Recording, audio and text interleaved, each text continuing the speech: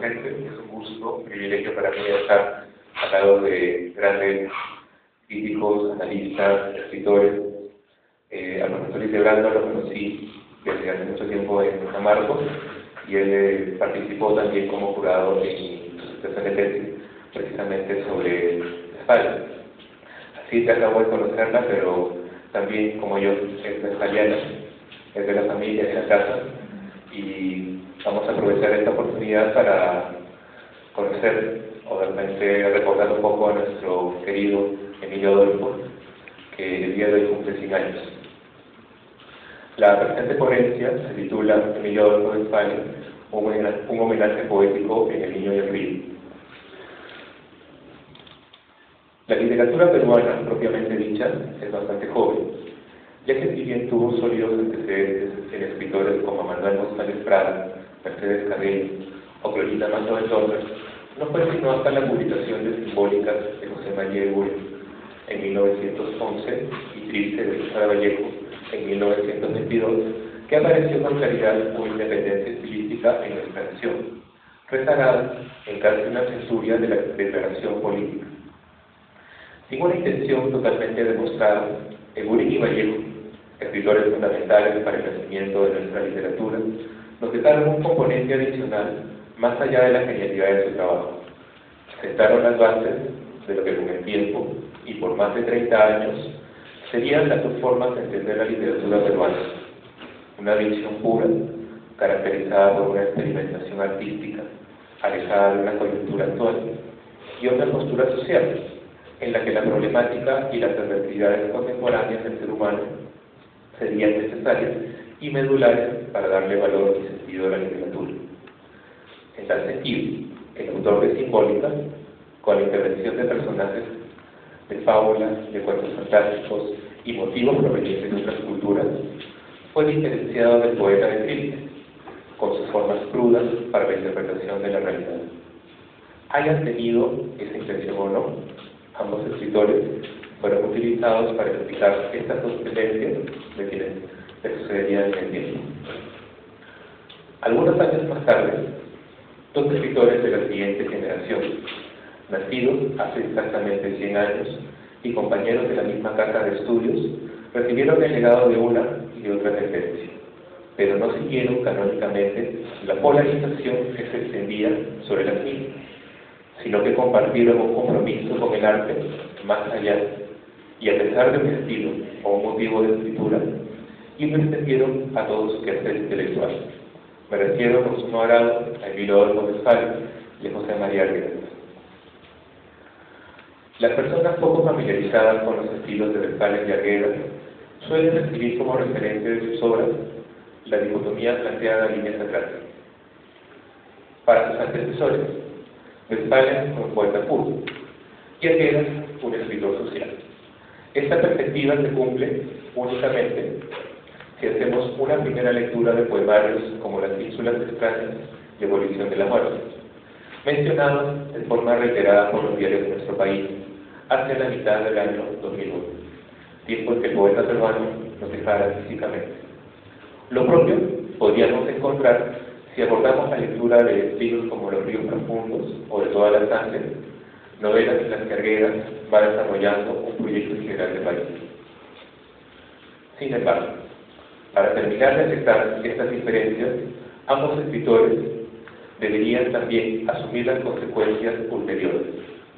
La primera, una poética a favor de su particular postura artística. La segunda, un lector implicado que siga esa misma línea. Y la tercera, una posición constante al respecto. Sin embargo, estos factores resultan cuestionables si pasamos de una lectura superficial a una observación un poco más profunda. Ya que la ponencia es de 25 minutos, vamos a hablar básicamente de detalle. Para conocer la poética. Para conocer la poética de este autor, teníamos una gran ventaja. Westphalen fue un representante de la vanguardia, no en el hecho de hablar de helicópteros, de asesores, de dirigibles, sino más bien en ser un crítico integral, no solamente del arte y la cultura, sino también de toda la sociedad de su época. En tal sentido, tenemos textos de Westphalen en los que reprueba, sin ambaje, a escritores como Vicente Huidobro. Tenemos el caso del obispo embotellado, publicado en 1936. También tenemos eh, la poesía de los críticos, de 1939. No voy a decir aquí crítico porque no, no hay bueno hablar de paisanos en, España.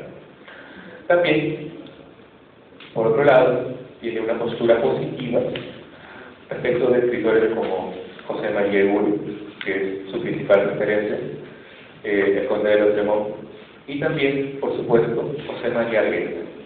¿Qué dijo Versales respecto de José María Argueta? Esto lo publicó en la revista número 11, eh, eh, perdón, la revista eh, Amado, en su edición número 11. Voy a citar a Versales. Envidiable destino, poseer un doble instrumento de captación de la vida y el universo, y expresarse libre y gozosamente en dos idiomas de tan diversas estructuras y posibilidades de uso. Aprovechar todo el rico acervo de dos tradiciones culturales antiquísimas y en muchos casos disímiles y contradictorias, pero ambas válidas como sistemas para la comprensión del hombre y la exploración del cosmos. Según hemos visto, en la poética de Westphalen no se ofrece una postura orientada a promover o defender una visión pura de la literatura, sino hacerlo con las obras de escritores que suman una responsabilidad sobre su propio trabajo y valorarlo desde su propia dimensión, como lo hizo con Eburen, más cercano estilísticamente a él, y también con Arguera, más social, como habíamos dicho anteriormente. Respecto al segundo elemento, el lector implicado, debemos tomar en cuenta que en la obra de Westphalen no se agota en las ínsulas extrañas y abolición de la muerte, sino que se prolonga, luego de 30 años de silencio, a los años 80, complementado con la publicación de poemarios como Amador de Poemas, del Arco de Nada, y también eh, Ha vuelto la diosa María. Precisamente eh, en, la, en, el poemario Amador de Poemas, del Arco de Nada, publicado en 1964, es que sale incluye una sección dedicada a José María Reyes. Esto se llama El Niño y el Río, que no solamente la dedica en homenaje, sino también haciendo referencia a una de sus más brillantes obras, que es la novela Los Ríos Profundos. Respecto de la posición constante en la forma de escritura, tendríamos que hacer también una distinción. Westphalen tuvo un silencio poético de más de 30 años y también un estilo distinto después de sus 30 años. Él mismo responde en la edición Bajo Zarpas de la Quimera de 1991 a las especulaciones sobre su cambio de estilo. Sí, allí se hace patente el, para ciertos comentaristas el insólito intervalo de más de 30 años entre los poemas de juventud y los recientes. Rechazo, por supuesto, las especulaciones a propósito de un accidente no extraordinario y más bien anecdótico. Para mí, no hubo sino una redundación necesaria, favorecida por circunstancias fortuitas. Levantóse una compuerta y quedó restablecida la corriente, agotada o embalsamada. No se puede esperar, desde luego, que uno escriba a los 60 o 70 años de edad como lo hizo a los veintitantos. Por otra parte, hay que reconocer que el lenguaje y los temas utilizados en poesía han variado constantemente desde la insurgencia de las llamadas vanguardias. Vemos en la declaración del poeta peruano que no hay un matrimonio con una ideología en su forma de escritura, a través de los temas o, el lenguaje utilizado. Sí hay, en cambio, una constante en su postura de estar siempre alerta y no caer en patrones de la época, como manifestó también en su momento al expresar su respeto, pero también su recelo de la tiranía del espíritu, es decir, del surrealismo. Crítico integral, atento a distintos tipos de lectores y autónomo estilísticamente hablando. Si bien Stalin compartió con en su tendencia a temas y motivos ajenos a la coyuntura de su primera época, se hizo presente también en una problemática actual, como lo demostró en este pequeño repaso de hechos, y también en su actividad editorial, con las mejores revistas culturales de su época, Las Moradas, de 1947 a 1949, y Amal, de 1967 a 1971. Así también, Westphalen publicó trabajos sobre la identidad nacional junto con Argueda en la década de 60. En consecuencia, podríamos hacer una ilustración de cómo Westphalen desarrolla esa intertextualidad en la sesión del niño de río. Vamos a ir a esa parte. Hemos visto que la visión de la literatura pura, adjudicada periodo de Westphalen, no sigue canónicamente dicha tendencia. Por el contrario, nuestro autor ha manifestado una aguda visión crítica sobre la realidad, evitando caer en visiones deterministas sobre el tipo de lector al que se dirigía y mantenido como constante su propia visión antes que la ajena, dentro de los motivos culturales de su época. El niño y el río parte de la canción que Ernesto, protagonista de la novela Larguera, establece con el río Pachachaca. En dicha obra, este elemento natural no es solamente un río, sino que basa su existencia en lo que el muchacho define en él, un elemento de comunicación con su padre y con el resto del mundo. Esta postura está respaldada por Levi Strauss, ya que habla acerca de las condiciones naturales. Para Strauss, las condiciones naturales no se experimentan, lo que es más, no tienen existencia propia, pues son en función de la estética y de género de la vida de la población que las vive, y que le da un sentido aprovechándolas en una dirección determinada. Esta atribución fue asumida con nitidez por el autor de las epístolas extrañas, ya que desde un primer momento coloca en mayúsculas a sus alcances, al niño en mayúsculas y al río en mayúsculas, estableciendo una igualación en el valor temático que ellos tienen. Por ejemplo, el primer poema es de luz. Dice el poema, con aguja de cristal de roca y hebras del sol, surce el niño, gota a gota, amplia túnica temblorosa y sangrienta, de río desollado vino. Si jugamos con los términos ofrecidos en el título y el contenido del texto, observaremos el carácter de artificialidad que se desarrolla en el río. El título alude a piel, piel de luz, mientras que el contenido del texto habla de una amplia túnica temblorosa y sangrienta. Piel y túnica son dos elementos diferentes. La primera pertenece a un ámbito de lo natural, porque es común a todos los seres vivos. La segunda, túnica, es más bien consecuencia de la actividad textil del ser humano. Si la piel del río, entonces, es una túnica, es porque el elemento visible o epidémico del mismo no es el agua que nítidamente corre en él, sino la atribución que el niño, como representante de la humanidad, le está dando o va reconstruyendo. Asimismo, surgir la túnica hace que el niño le brinde un nuevo significado al río, en un contexto en el que el mismo es dejado de lado, como se observa al hablar de una túnica temblorosa y sangrienta. Un segundo elemento que podemos encontrar en ambas obras es la atribución de fuerzas contra la injusticia que se brinda a este elemento de la naturaleza. Ya que el río Pachachaca se pone a los victimarios, hablando de la novela guerra, que son poseedores del gobierno o del poder establecido, y se relaciona con quienes desean proteger al débil o al desamparado. Esto sucede con Ernesto al exclamar sus deseos de cambiar lo negativo de su entorno y de vencer a quienes dañan a otros. Citamos a Argueta. Quemaremos, incendiaremos, pondremos a la obra en un convento, el día ya está derretido, el ayunco creo agoniza, y tú, río Patachaca, dame fuerzas para subir la cuesta como una golondrina. Westphalen hace lo propio con el poema Idilio, en el que se ofrece una lectura bastante clara de esa fuerza. Leamos a Westphalen. Varias ratas gordas se habían aglomerado a la vera del río para chuparle la sangre. El niño las espalda como una palma grande. Agradecido, el río, entre sus brazos, encuna al niño. El título de este poema, definido por el diccionario como una composición poética que suele caracterizarse por lo tierno y delicado, hace referencia justamente al niño, porque, como su propio nombre lo dice, es un ser de poca experiencia y años relacionado con estas características. Vamos a ver las oraciones que conforman el poema. La primera, varias ratas gordas se habían aglomerado a la vera del río para chuparle la sangre. La rata es definida como un mamífero muy fecundo y destructor y voraz.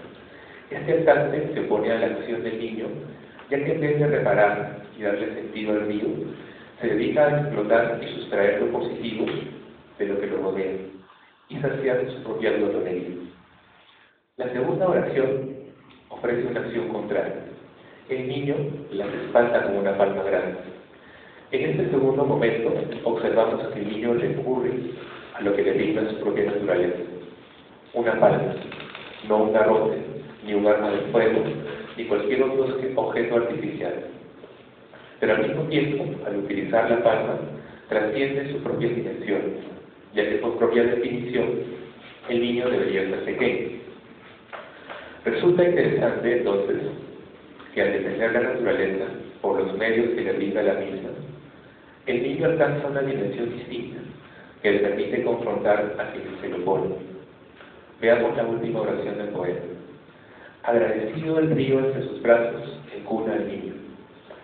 Este tercer momento corrobora la relación forjada entre el primer poema y respalda la fortaleza de lo natural, ya que aunque el niño haya mostrado fuerza en la propia naturaleza, no deja de ser un ente dependiente de otros que requiere atenciones para su propio desarrollo. Por esta razón, el último, la última oración del, del poema habla de que el río como elemento natural, respalda y hace coherente la acción del primero al encunarlo. Un último elemento a mencionar está representado en las consecuencias de la naturaleza como un elemento propio.